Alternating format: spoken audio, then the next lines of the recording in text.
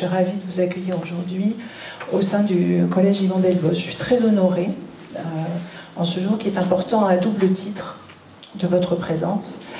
important puisque nous venons de recevoir le label 100% bio EcoCert qui est une véritable consécration pour euh, notre équipe, j'ai eu l'occasion de le dire tout à l'heure, au service d'un projet qui allie la santé, le bien-être de nos collégiens, et ce n'est pas euh, la moindre des choses, et le développement durable d'une agriculture de proximité respectueuse de l'environnement. Mais c'est aussi un jour de rentrée, ça ne nous a pas échappé. Nous accueillons ici les élèves de 6e aujourd'hui, et je me félicite que vous, Madame la directrice académique, et vous, Monsieur le président du conseil départemental, ayez choisi notre établissement pour y faire euh, cette rentrée, cette conférence de rentrée. Ce moment fort de l'année scolaire, c'est l'aboutissement d'un long travail de, préparation des équipes, du collectif dont je parlais tout à l'heure, mais c'est aussi le nouveau départ pour toute l'équipe, pour toute la communauté, pour les élèves. Et euh, je me pose toujours la question, et euh, m'intéresserait d'avoir la réponse, de savoir qui parmi nous ne garde pas euh, le souvenir de ces jours de reprise des classes, de, du regret des grandes vacances qui est mêlé avec une certaine excitation de la reprise des cours, et puis parfois aussi cela est teinté d'une pointe d'appréhension, voire plus pour, pour certains élèves.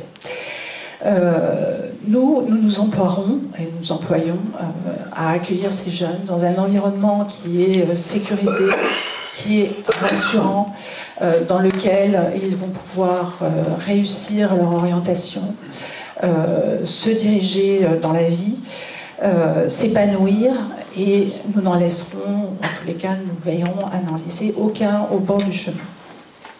Votre présence ici témoigne de la qualité de l'accompagnement et du soutien euh, que vous nous apportez euh, tout au long de l'année, euh, autant pour ce qui relève de la collectivité territoriale que des services de, de l'éducation nationale. Et je tiens à vous remercier de cette proximité avec le terrain qui n'est pas de la même qualité partout, je dois le dire. C'est très important pour nous. Oui. Et oui, parce que j'ai œuvré ailleurs avant d'être en Dordogne. Euh, je tiens vraiment à vous en remercier et euh, je vous laisse la parole. Merci, merci beaucoup, Madame la Principale. Dans, les remerciements, tout à l'heure, j'ai oublié de remercier la présence de la gendarmerie, qui est Messi. Surtout que si j'ai bien compris, il y a un gendarme qui est aussi membre du conseil d'administration du collège. C'est bien ça voilà. En tout cas, votre présence est appréciée. Moi, je vais vous quelques grands chiffres, quelques grandes données, et puis euh, je, vais, euh, je ferai intervenir Christian euh, sur les sujets d'environnement et de, santé. Régine interviendra sur l'Occitan. Monsieur Varayon, vous interviendrez sur les travaux, de façon à ce que vous ne soyez pas lassés et que la salle ne se vide pas dans, quelques minutes, avant que Madame la directrice départementale nous parle de la situation d'Ordogne. Bon, vous savez que dans notre département, il y a 38 collèges publics.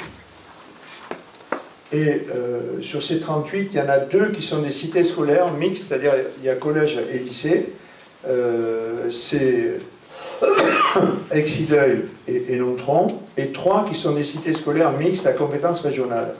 La différence, c'est que dans les trois où la compétence est régionale, c'est la région, je le disais tout à l'heure, qui assure la restauration scolaire, par exemple alors que nous, euh, sur les 38, il y en a 35 donc, où nous assurons la compétence de la restauration scolaire, même pour les deux de Nontron et d'Exideuil qui sont mixtes, qui sont euh, département région.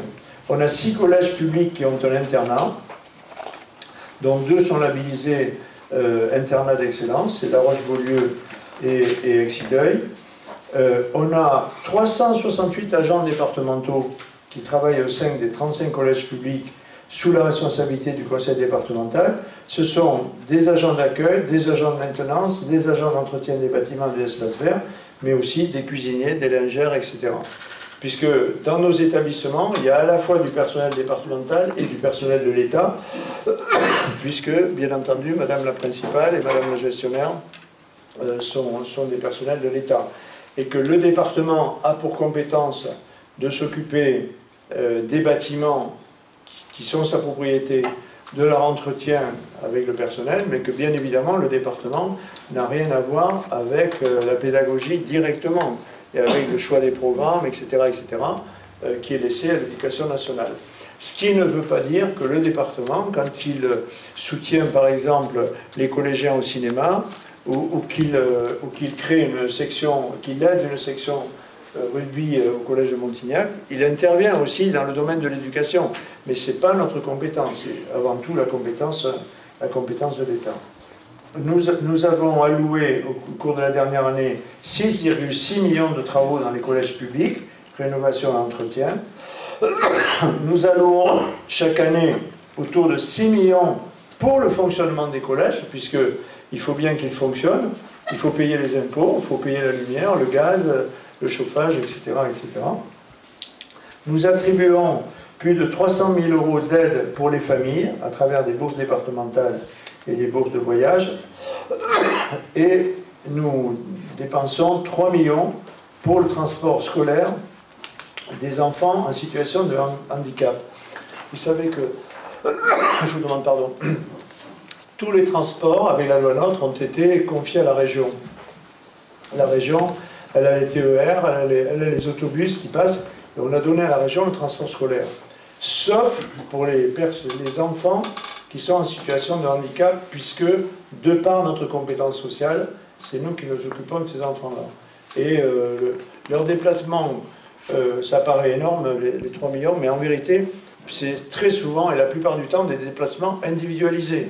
C'est-à-dire que c'est un taxi qui va au domicile et qui amène les enfants dans des lieux d'éducation, dans des lieux d'éducation. Donc, je ne veux pas être trop long, mais je veux vous dire qu'on attache une importance euh, euh, capitale à l'éducation. Et c'est pour ça que, euh, sur le plan politique, de la politique du département, on soutient autant qu'on le peut, dans le cadre de notre compétence, les collèges, mais que l'on apporte aussi aux communes, hors compétences obligatoires, des aides pour leur, leur, leur, la modernisation ou la construction d'écoles. Pourquoi on, y a, on, y a, on pense que c'est capital? Ben Parce qu'on est persuadé que dans notre République, l'école, et l'école publique en particulier, est là pour euh, essayer d'atteindre ou d'approcher l'égalité des chances entre les enfants, permettre à chacun d'évoluer, de, se connaître, de, euh, de, connaître les autres, de se socialiser et en vérité de préparer sa vie. C'est à l'école que tout, que tout commence, et à la maternelle que tout commence, et même avant la maternelle que, tout, que tout commence. Et c'est pour ça qu'on y, est, y est extrêmement euh, attaché, parce que c'est la jeunesse de demain et les adultes et les citoyens de demain que l'on est en train de, de préparer. Donc je vais demander à Christian, si tu veux bien Christian, de nous faire un focus sur ce que l'on fait en matière environnementale dans les collèges, mais aussi en, matière de, santé. Euh, Christian Teillac, il est vice-président en charge de l'éducation au département. Vas-y. Merci Président. Donc juste quelques mots effectivement de tout ce que l'on fait qui ont trait à la santé, l'environnement, la santé, ça, va de pair. En fait, euh, je reviens en quelques mots sur ce qu'on a dit sur l'alimentation 100% bio, 100% local, 100% fait maison et de saison. Là, on peut raisonner en très court terme en disant on fait des choses, c'est bien, on fait travailler les agriculteurs, etc. Et on est en train de travailler sur, dans 30 ans sur la santé de nos jeunes. Et ça, je crois que pas grand monde arrive à prendre ça en considération. Après toutes les études qui sont faites par les cardiologues, on se rend compte effectivement qu'on mange trop gras, trop salé, trop sucré, qu'on est en train de payer les conséquences d'une mauvaise alimentation qui a commencé dans les années 60, il faut le savoir, avec les plats cuisinés à outrance, pas chers, etc. Et donc, on a fait la malbouffe, hein, on le voit, et en particulier dans la restauration collective, on, est allé dans le système de la malbouffe. C'est pas cher et ça se, ça se met en place très facilement. Donc là, nous, on travaille sur cette alimentation parce qu'en fait, on est persuadé, on le sait, il y a des études et on va encore faire d'autres études qui vont le montrer. Les cardiologues sont très partie prenante par rapport à ça. On sait très bien qu'on va permettre à ces jeunes, quand ils seront adultes, d'avoir un meilleur état de santé.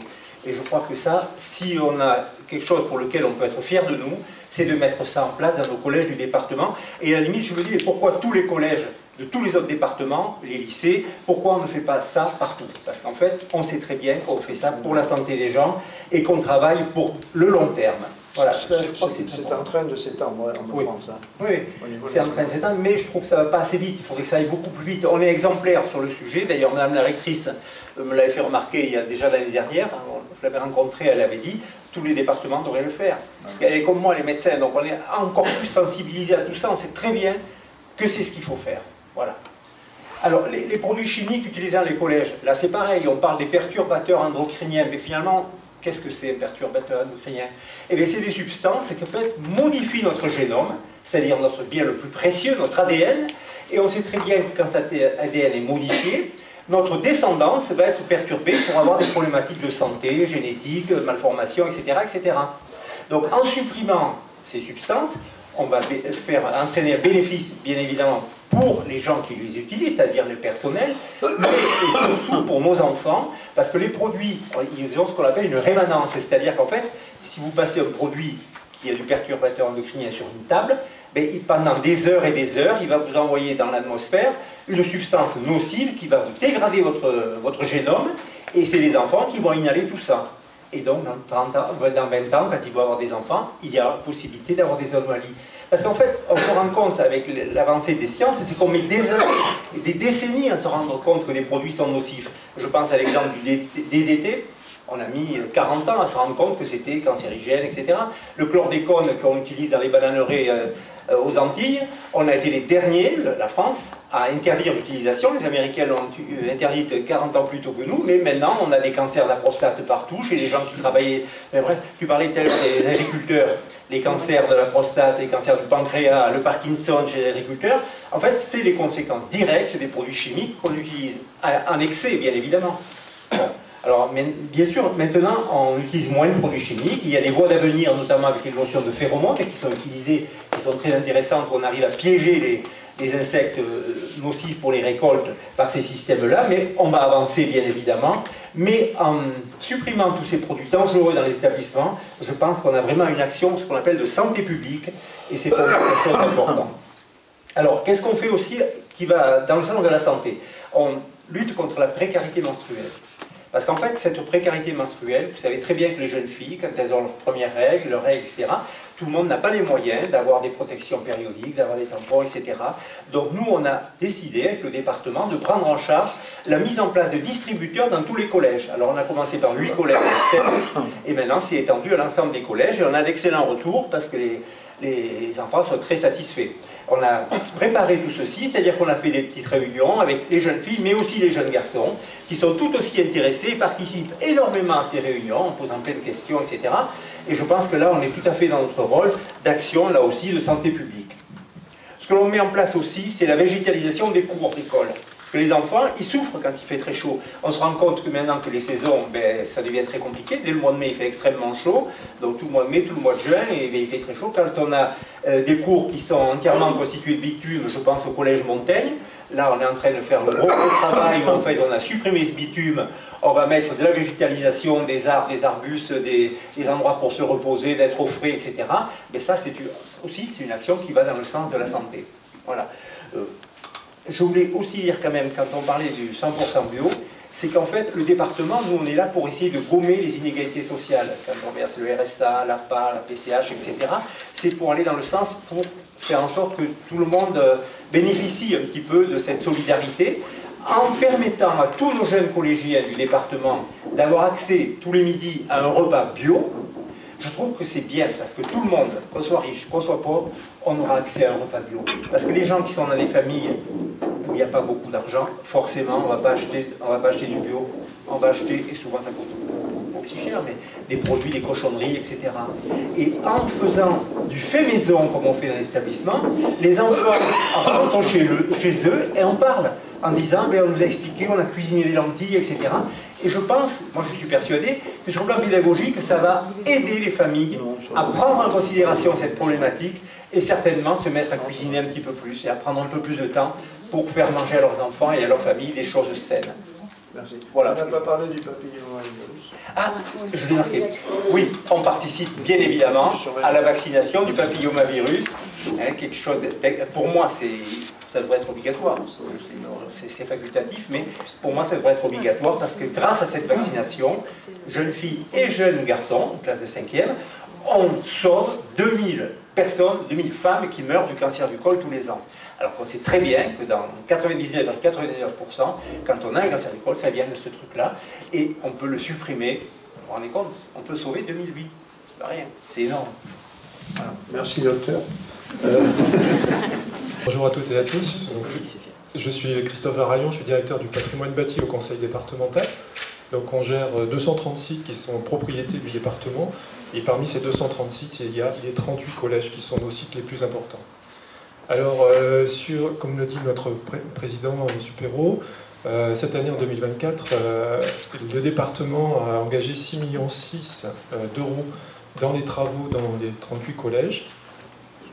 Alors, en plus, donc, pendant cette période d'été qui est favorable à tous les travaux, puisque les établissements sont fermés, nous, intervenons dans pratiquement tous les sites tous les collèges. Euh, je vais juste vous, énumérer les, travaux les plus importants qui ont été réalisés euh, cette année. Alors, euh, nous avons livré une salle polyvalente au collège de Mareuil pour un montant de 450 000 euros cet été, en juillet. nous avons également terminé des travaux de mise en place de carrelage dans tout le collège de Lorgaté. C'était une cité scolaire, mais les bâtiments collège et lycée sont bien séparés. Et euh, nous avons euh, comme grosse opération également euh, la mise en place de deux salles polyvalentes, pardon, deux salles préfabriquées de classe et des sanitaires supplémentaires au collège de Veilline, car ils ont une augmentation d'effectifs très importante dans ce secteur. ça fait suite à deux salles de classe supplémentaires qui avaient déjà été réalisées en 2023, 23, oui. et ces travaux seront livrés pour les vacances de Toussaint. Euh, également, euh, dans les gros travaux, nous avons euh, la livraison d'une salle polyvalente au collège de Terrasson, qui, est, en avait fortement besoin. ces travaux vont être terminés, enfin, on est en train de peaufiner les derniers, les derniers petits travaux. Ça sera livré en octobre prochain pour une opération donc, qui, fait, qui sera élevée à 950 000 euros TTC. Également, euh, dans les gros travaux que nous avons cet, été, enfin cette année, euh, la remise en état de quatre, euh, quatre, logements de fonction à la cité scolaire de Nontron. C'était des logements de fonction qui étaient fissurés en raison de la, sécheresse, en fait, avec des, des, des, planchers qui s'étaient affaissés de 10 cm. Donc là, il y en a deux qui sont terminés et on va terminer les deux autres pour, j'espère, les vacances de Toussaint. Voilà. Donc tous ces travaux s'inscrivent dans ce qu'on appelle le livre blanc des collèges. C'est en fait, si vous voulez, c'est un programme de travaux qui s'inscrit sur 5 ans. Donc euh, on est à mi-chemin euh, sur euh, l'actuel livre blanc. je peux faire un petit focus sur le collège de Montignac, puisque nous sommes accueillis dans ce collège. Alors effectivement, les, derniers gros travaux qui concernent cet établissement, c'est la réfection du toit du réfectoire qui commençait à fuir qui fuyait, bien, beaucoup. Donc effectivement, de gros travaux euh, de 230 000 euros qui ont été achevés en fin d'année dernière, je crois. Euh, nous avons également euh, contribué donc à, la mise en place du 100% bio avec l'acquisition du matériel dans les cuisines.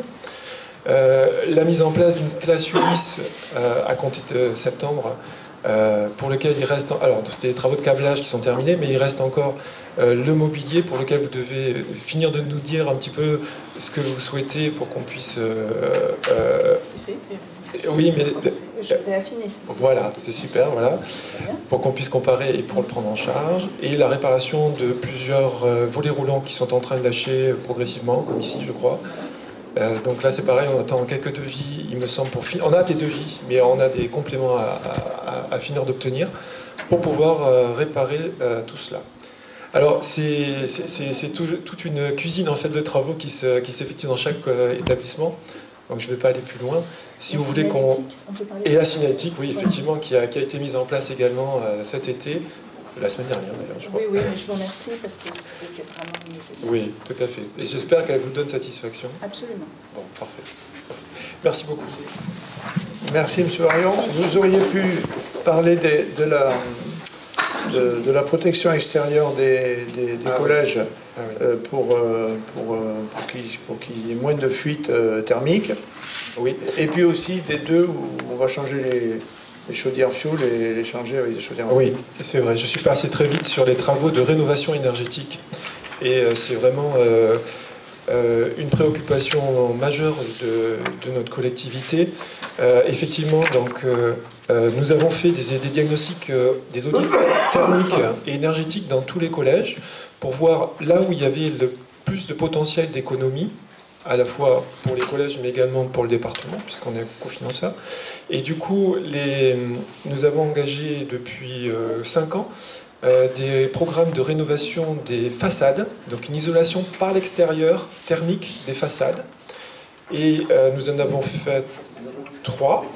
Et nous avons terminé donc cette année en 2024 le collège de Tivier, qui a été entièrement euh, euh, rénové. Également le collège Jacques Prévert. Alors c'est un double avantage, c'est que euh, c'est une rénovation thermique, mais c'est aussi un changement d'image de marque du collège, puisque l'établissement devient beaucoup plus attrayant une fois les travaux réalisés. Et nous sommes en train de résorber, enfin de, d'enlever toutes les dernières chaufferies fuel qui pouvaient rester dans les collèges, notamment la plus grosse qui était le collège de La Roche-Beaulieu. Alors les travaux sont en partie terminés, il reste à finaliser les travaux dans le gymnase. Euh, donc tout ça, ça, va se terminer. Euh, alors, ça va être mis en route déjà en octobre et ça sera finalisé en mars prochain pour le gymnase, qui est le dernier équipement à, terminer. Et dès que nous pouvons, nous mettons en place des panneaux photovoltaïques sur les, les sites qui permettent et nous mettons en place donc des chaufferies bois. Euh, des chaufferies bois, comme ça a été le cas déjà sur le collège de Saint-Astier, sur enfin, un certain nombre de collèges. Et le prochain sera le collège de Sarlat, euh, sur lequel donc, nous avons à chaque fois des aides de l'État euh, au travers du DSID, du Fonds Chaleur, du Fonds Vert et de l'ADEME. Voilà, tout à fait. Voilà. Merci beaucoup, Christophe. Merci infiniment. Alors, sur les actions culturelles, Régine, s'il te plaît. Bien, alors, 30 secondes pour la culture et pour l'occitan, c'est possible, pourvu qu'on en parle de la ah, culture. C'est important. Euh, dans, dans, les collèges, donc, euh, comme euh, dans aux côtés de l'éducation nationale. Euh, au niveau culture, moi, ce que je voudrais euh, juste préciser dans le cadre de nos compétences obligatoires, c'est-à-dire la lecture publique, par exemple, c'est que nous avons euh, des résidences d'auteurs organisées par la BDDP dans les collèges et que c'est quelque chose de très prisé et de très apprécié. Nous avons aussi, euh, avec l'agence culturelle par exemple, euh, des résidences culture et territoire. Il y en a une qui s'est terminée sur, euh, sur Saint-Cyprien, dont nous en avons parlé l'année dernière, Madame la d'Azen euh, sur, euh, sur, le collège de Saint-Cyprien et donc euh, qui ne demande qu'à être répliquée et, remise au niveau de, d'autres collèges. et bien sûr, nous sommes aux côtés des enseignants et des, des équipes donc, dans les collèges au niveau des parcours d'éducation artistique et culturelle de l'EACI. Alors je vais peut-être oublier peut-être quelque chose, mais c'est dans, le plus important, c'est à ce niveau-là. Et euh, ce que je voulais aussi parler donc de l'occitan et de la culture et de la langue occitane, donc euh, auprès euh, donc des services académiques de la région Nouvelle-Aquitaine et de l'Office public pour la langue occitane, nous avons nous tenons à mener une politique volontariste, c'est ça, en faveur de l'enseignement de l'Occitan. Et Madame Malabre le sait, nous sommes là, avec grand plaisir, et nous travaillons en très bonne intelligence, et c'est bien agréable. Donc, euh, quelques chiffres mais de la rentrée 2023-2024, vous vous en doutez. Hein. Donc, euh, c'est un nombre total d'élèves sur le territoire de 1046 enfants qui sont en contact avec des, euh, des, degrés différents, hein. aussi bien en premier degré qu'en second degré. Bon, pour ce qui nous concerne, nous, dans nos compétences, euh, ce sont les collèges, donc 13 collèges hein, qui ont, euh, où la culture occitane et la langue occitane sont présents, hein. et trois lycées. Donc voilà ce que j'avais envie de moi de vous dire, hein. ainsi que les 13 collèges bénéficient aussi via euh, l'agence culturelle à qui le département a confié euh, la culture occitane, des parcours EAC euh, tout au long de l'année. Donc c'est quelque chose, nous sommes assez heureux que ces 13 collèges en bénéficient.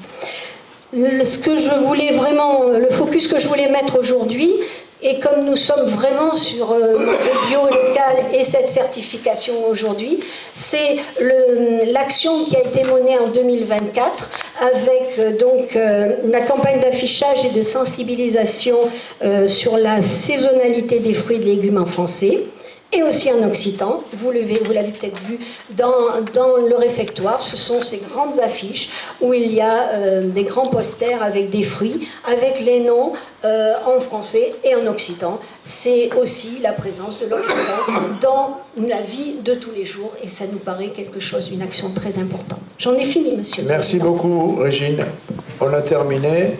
Je suis particulièrement heureuse d'être euh, au Collège de Montignac aujourd'hui pour un rituel de rentrée cela fait ma troisième rentrée scolaire dans euh, ce département, puisque je suis arrivée en janvier 2022. Euh, Et cette rentrée, elle se fait rituellement aux côtés du président du conseil départemental, aux côtés de Germinal Perrault, parce que c'est une euh, façon pour nous d'affirmer, de réaffirmer chaque année notre coopération et l'excellence de nos relations, parce que si sans, cette coopération, en fait, nous ne pouvons pas euh, réussir à accompagner euh, les collégiens euh, de ce département. Je ne parlerai pas que des collèges, hein, mais je parlerai aussi de l'ensemble des écoles, puisque la mission première hein, d'une directrice départementale des services de l'éducation nationale, c'est euh, d'assurer en fait euh, une bonne rentrée aux élèves de ce département. Le travail que je mènerai cette année sera inséré dans un projet académique actualisé que vous pouvez découvrir et qui a été mis en ligne récemment sur le site académique. Mais je travaillerai en adaptant en fait toutes les priorités de ce projet académique à notre territoire. Je voudrais d'abord affirmer l'existence d'une école ambitieuse et équitable dans ce euh, département. Mes objectifs sont toujours les mêmes. Poursuivre l'élévation du niveau général de tous les élèves en renforçant les apprentissages fondamentaux et sécuriser le parcours de formation de chaque élève en ouvrant le champ des possibles. Et c'est un signe que d'être ici aujourd'hui, puisque je souhaite souligner euh, les excellents résultats euh, du euh, Collège de Montignac au brevet des collèges, puisque ces résultats sont supérieurs à la moyenne académique. Cette ambition pour une école équitable, élevant le niveau général des élèves, repose sur des principes. L'éducabilité, la justice sociale et territoriale, l'exigence, et sur une méthode, centrer les réponses sur les élèves les plus fragiles. Il ne vous a pas échappé que dans la circulaire de rentrée, il y a cette expression « ne laisser aucun élève au bord du chemin ».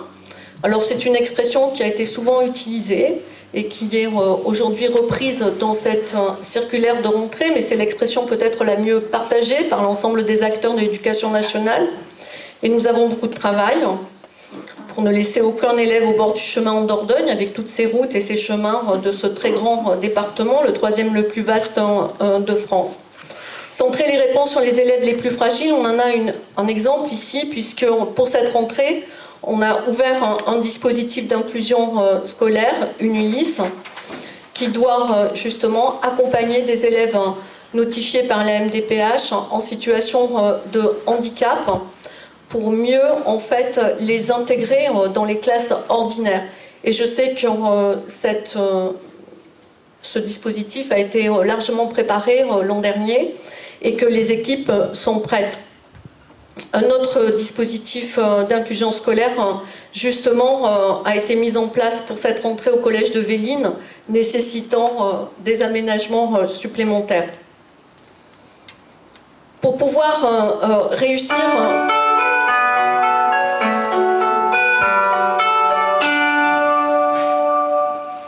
cette ambition scolaire, il faut euh, investir au mieux les missions éducatives de l'école pour favoriser une prise en charge globale des élèves. Et cette prise en charge, elle ne peut être que pluridisciplinaire et partenariale. Ensemble, il s'agira d'éduquer des élèves engagés de participer à leur épanouissement et de construire leur citoyenneté. Et pour cela, il faut faire confiance aux acteurs de terrain en libérant les initiatives. La confiance, c'est peut-être euh, l'un des éléments que j'ai le plus retenu dans le voyage que nous avons fait ensemble, puisque Christian Teillac et euh, Cécile Jallet faisaient partie euh, de ce programme Erasmus, qui nous a conduits en Finlande, où nous avons remarqué que l'accompagnement et la réussite des élèves étaient marqués par une grande confiance aux acteurs, laissée aux acteurs de terrain. Je souhaite travailler en confiance hein, avec les chefs d'établissement, avec les directeurs et les directrices d'école, avec les enseignants. Collaborer et coopérer avec eux pour porter au plus haut cette collaboration et cette coopération que j'appelle de mes voeux pour les élèves. Tout le monde sait maintenant que euh, je m'intéresse très fortement aux pédagogies coopératives et que je suis avec beaucoup d'intérêt toutes les expériences sur les pédagogies coopératives euh, qui ont lieu euh, dans ce département. Mais il y a d'autres chantiers euh, qui nous attendent cette année. Renforcer la relation école-famille, notamment. Et chaque année, on organise un séminaire départemental, partenarial, autour de certains sujets. L'an dernier, c'était sur les violences intrafamiliales. L'année d'avant, sur les violences en milieu scolaire. Cette année, ce sera sur euh, les malentendus qui peuvent perturber cette relation entre euh, l'école et les familles.